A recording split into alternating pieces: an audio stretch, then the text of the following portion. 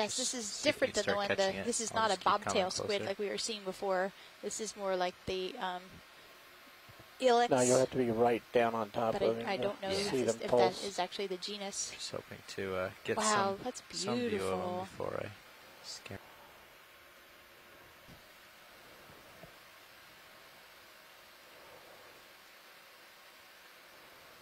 Wow.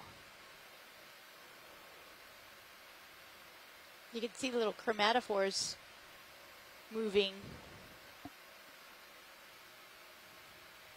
Wow, that's neat. Little rotate left if you can.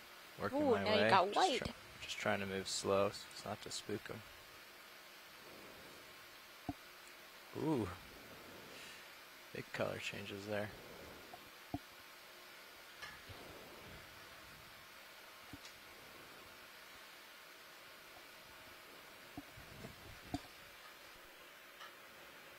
Go right for the forehead here.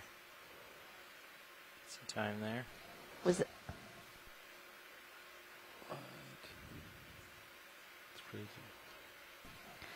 So yeah, um, on on the head, between the eyes, and along the arms, we're seeing the chromatophore organs, but they also have what's called um, iridophores, full of little structures called iridocytes, and those actually are causing, they're um, reflecting the light and Step causing to the, iridescence. back. Particularly over the eyes. But you can see it along the mantle, there down the center of the mantle, and a little bit on the fins there, and then on the arms as well.